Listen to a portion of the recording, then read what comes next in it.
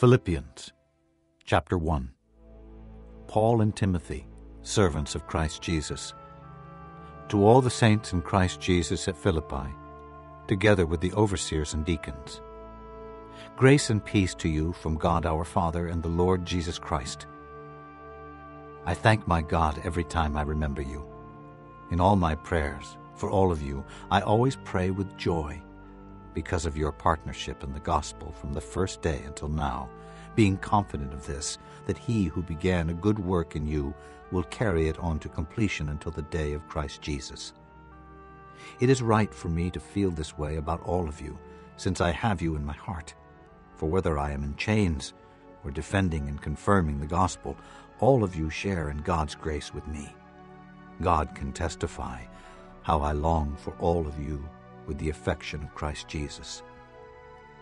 And this is my prayer, that your love may abound more and more in knowledge and depth of insight, so that you may be able to discern what is best, and may be pure and blameless until the day of Christ, filled with the fruit of righteousness that comes through Jesus Christ to the glory and praise of God. Now I want you to know, brothers, that what has happened to me has really served to advance the gospel. As a result, it has become clear throughout the whole palace guard and to everyone else that I am in chains for Christ. Because of my chains, most of the brothers in the Lord have been encouraged to speak the word of God more courageously and fearlessly. It is true that some preach Christ out of envy and rivalry, but others out of goodwill. The latter do so in love, knowing that I am put here for the defense of the gospel. The former preach Christ out of selfish ambition, not sincerely, supposing that they can stir up trouble for me while I am in chains. But what does it matter? The important thing is that in every way, whether from false motives or true, Christ is preached, and because of this, I rejoice. Yes, and I will continue to rejoice, for I know that through your prayers and the help given by the Spirit of Jesus Christ, what has happened to me will turn out for my deliverance. I eagerly expect and hope that I will in no way be ashamed, but will have sufficient courage so that now, as always, Christ will be exalted in my body, whether by life or by death. For to me, to live is Christ, and to die is gain. If I am to go on living in the body, this will mean fruitful labor for me. Yet what shall I choose? I do not know. I am torn between the two. I desire to depart and be with Christ, which is better by far. But it is more necessary for you that I remain in the body. Convinced of this, I know that I will remain, and I will continue with all of you for your progress and joy in the faith so that through my being with you again, your joy in Christ Jesus will overflow on account of me.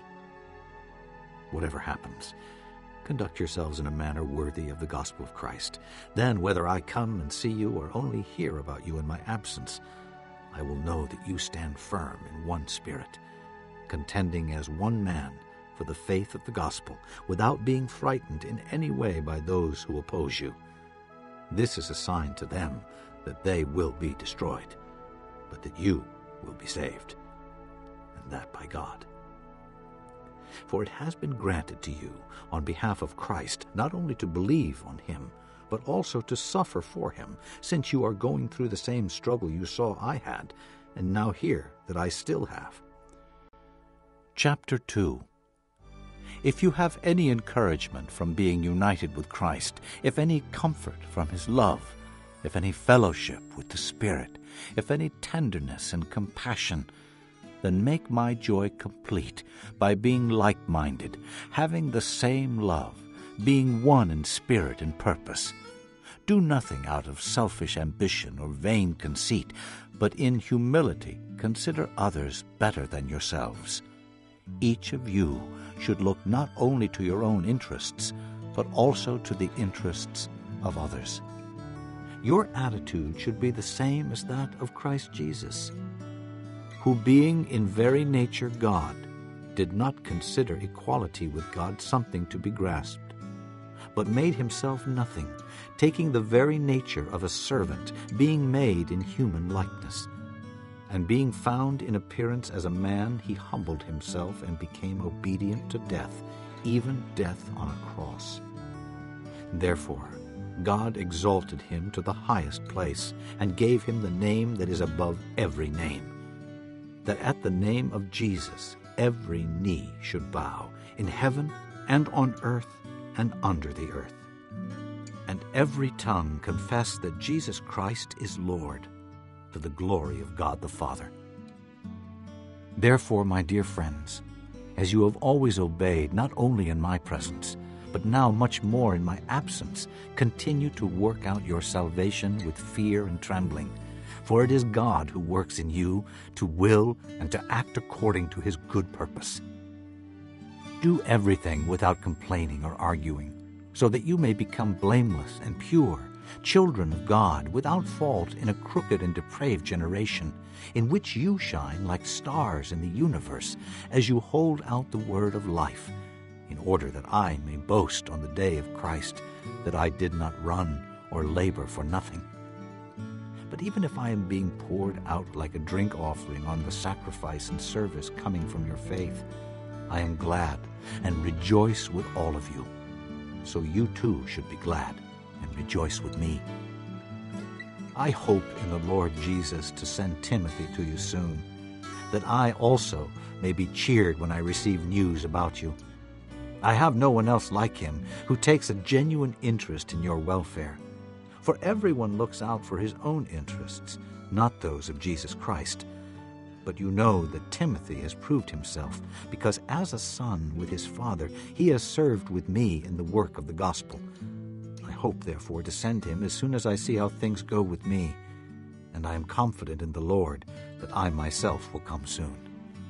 But I think it is necessary to send back to you Epaphroditus, my brother, fellow worker, and fellow soldier, who is also your messenger, whom you sent to take care of my needs.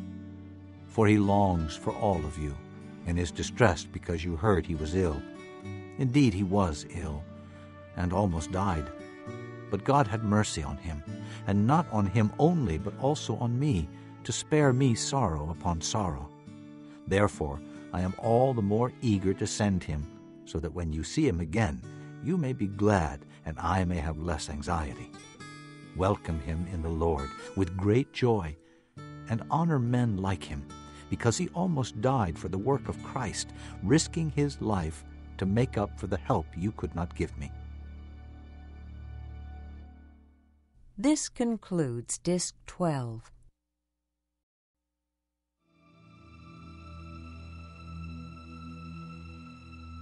Chapter 3 Finally, my brothers, rejoice in the Lord. It is no trouble for me to write the same things to you again, and it is a safeguard for you. Watch out for those dogs, those men who do evil, those mutilators of the flesh, for it is we who are the circumcision, we who worship by the Spirit of God, who glory in Christ Jesus, and who put no confidence in the flesh, though I myself have reasons for such confidence. If anyone else thinks he has reasons to put confidence in the flesh, I have more. Circumcised on the eighth day, of the people of Israel, of the tribe of Benjamin, a Hebrew of Hebrews, in regard to the law, a Pharisee, as for zeal, persecuting the church, as for legalistic righteousness, faultless. But whatever was to my profit, I now consider loss for the sake of Christ. What is more, I consider everything a loss compared to the surpassing greatness of knowing Christ Jesus my Lord, for whose sake I have lost all things. I consider them rubbish, that I may gain Christ, and be found in him, not having a righteousness of my own that comes from the law, but that which is through faith in Christ, the righteousness that comes from God and is by faith. I want to know Christ and the power of his resurrection and the fellowship of sharing in his sufferings, becoming like him in his death, and so somehow to attain to the resurrection from the dead. Not that I have already obtained all this, or have already been made perfect, but I press on to take hold of that for which Christ Jesus took hold of me. Brothers, I do not consider myself yet to have taken hold of it, but one thing I do, forgetting what is behind and straining toward what is ahead, I press on toward the goal to win the prize for which God has called me heavenward in Christ Jesus. All of us who are mature should take such a view of things. And if on some point you think differently, that too God will make clear to you. Only let us live up to what we have already attained. Join with others in following my example, brothers, and take note of those who live according to the pattern we gave you. For as I have often told you before, and now say again, even with tears, many live as enemies of the cross of Christ. Their destiny is destruction. Their God is their stomach, and their glory is in their shame. Their mind is on earthly things. But our citizenship is in heaven, and we eagerly await a Savior from there, the Lord Jesus Christ, who by the power that enables him to bring everything under his control will transform our lowly bodies so that they will be like his glorious body. Chapter 4 Therefore, my brothers, you whom I love and long for, my joy and crown, that is how you should stand firm in the Lord, dear friends. I plead with Euodia, and I plead with Syntyche to agree with each other in the Lord. Yes, and I ask you, loyal yokefellow, help these women who have contended at my side in the cause of the gospel, along with Clement and the rest of my fellow workers, whose names are in the book of life. Rejoice in the Lord always. I will say it again. Rejoice. Let your gentleness be evident to all. The Lord is near. Do not be anxious about anything, but in everything, by prayer and petition, with thanksgiving, present your requests to God. And the peace of God, which transcends all understanding, will guard your hearts and your minds in Christ Jesus. Finally, brothers, whatever is true, whatever is noble, whatever is right, whatever is pure, whatever is lovely, whatever is admirable, if anything is excellent or praiseworthy, think about such things. Whatever you have learned, or received, or heard from me, or seen in me, put it into practice, and the God of peace will be with you. I rejoice greatly in the Lord that at last you have renewed your concern for me. Indeed, you have been concerned, but you had no opportunity to show it. I am not saying this because I am in need, for I have learned to be content whatever the circumstances. I know what it is to be in need, and I know what it is to have plenty. I have learned the secret of being content in any and every situation, whether well fed or hungry, whether living in plenty or in want. I can do everything through him who gives me strength. Yet it was good of you to share in my troubles. Moreover, as you Philippians know, in the early days of your acquaintance with the gospel, when I set out from Macedonia, not one church shared with me in the matter of giving and receiving, except you only. For even when I was in Thessalonica, you sent me aid again and again when I was in need. Not that I am looking for a gift, but I am looking for what may be credited to your account. I have received full payment and even more. I am amply supplied, now that I have received from Epaphroditus the gifts you sent. They are a fragrant offering, an acceptable sacrifice, pleasing to God. And my God will meet all your needs according to his glorious riches in Christ Jesus. To our God and Father be glory forever and ever. Amen. Greet all the saints in Christ Jesus. The brothers who are with me send greetings. All the saints send you greetings, especially those who belong to Caesar's household.